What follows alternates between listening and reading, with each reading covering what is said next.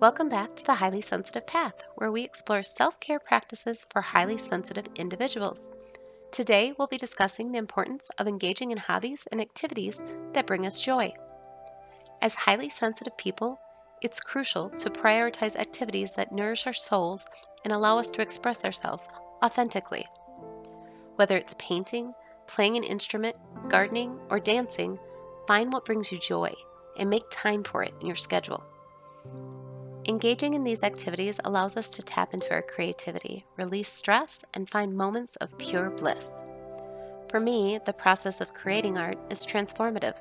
It allows me to express my emotions, play with colors, textures, and bring my inner world to life. It's a meditative and cathartic practice that brings me immense joy. I encourage you to explore the world of creating art on canvas or other artistic mediums that resonate with you. Embrace the process.